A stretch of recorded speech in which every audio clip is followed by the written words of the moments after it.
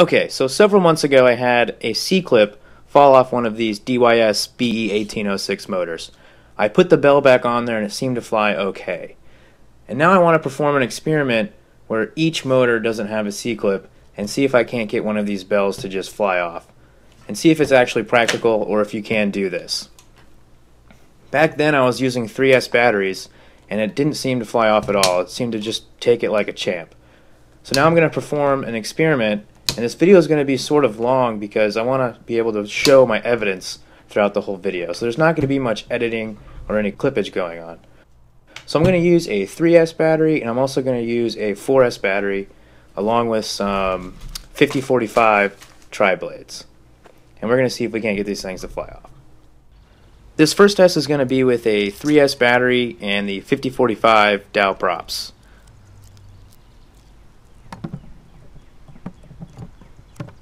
As you can see, the C-clips have been removed from each motor. These are purely held on by magnetism.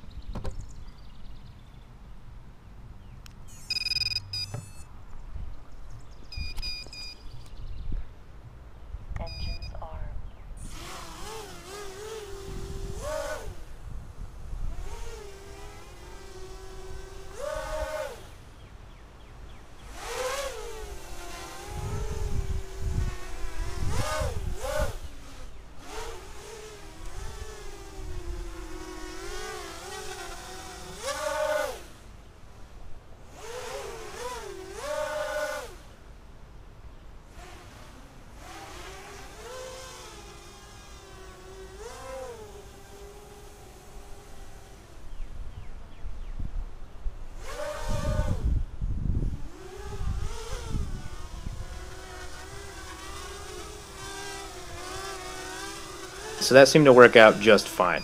Now let's throw a 4S in there and see what we can get.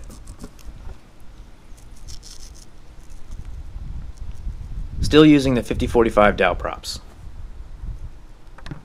As you can see, still no C-clips.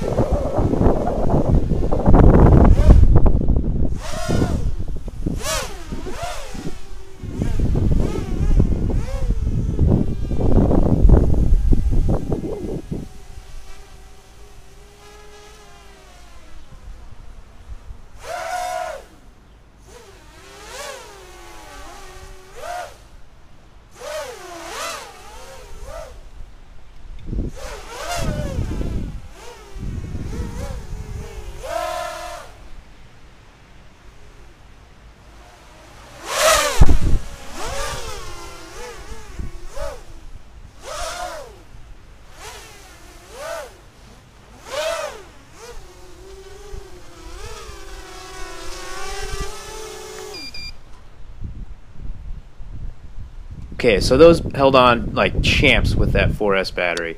Now we're going to switch on over to the delicious Lemon 5045 DAL props. See if we can't get these things to fly off mid-flight.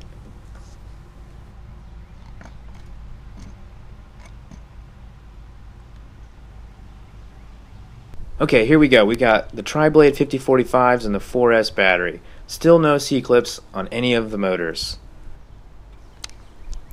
I'm just going to bounce around and do some punch outs. I'm going to climb really high. I'm going to free fall to the ground and just punch it before it hits the ground to try to get these things to fly off.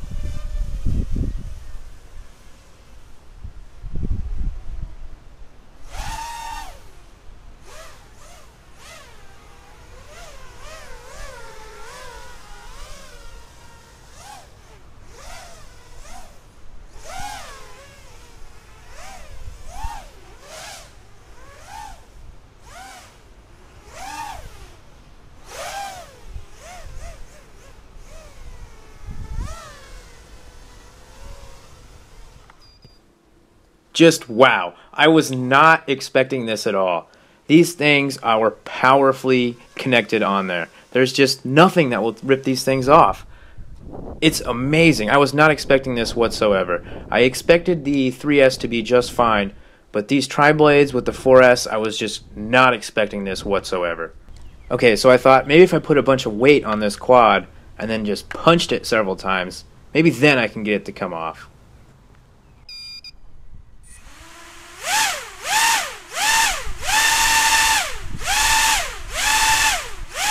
You can really see the arms flexing and those motors just giving away. Let's get in for a little close up.